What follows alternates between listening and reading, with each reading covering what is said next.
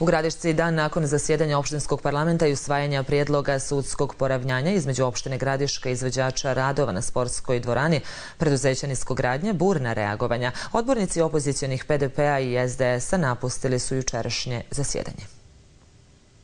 Opozicija je danas obrazložila zašto je napustila sjednicu. Kažu da je neprihvatljivo da usvojenim prijedlogom opština izvođaču daje 650.000 maraka, umjesto 60.000, koliko se još duguje po van sudskom sporazumu sa izvođačem iz oktobra 2015. godine. Još 60.000 neplaćenih obaveza i da otprilike ta priča tu i završi.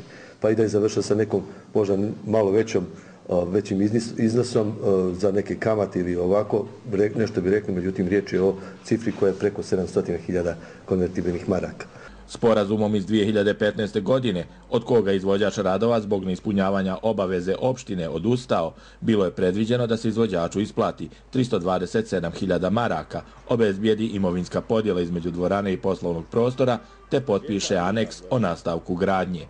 Nijedan od ovih uslova nije ispoštovan, da bi umjesto 327.000 maraka koje je trebalo da se uplati opština u, u roku od 60 dana, to uplaćivanje razlučeno na nekakvih 8 mjeseci, da nije isplaćen i sav iznos. Usvojenim prijedlogom koji će biti prezentovan na ročištu u Privrednom sudu 6. aprila, ukoliko ga prihvati izvođač radova, bit će omogućen nastavak izgradnje sportske dvorane. U suprotnom, ako ostane pri tužbenom zahtjevu, lokalna vlašća izvođaču radova zbog nepoštovanja ugovora morati isplatiti 7,5 miliona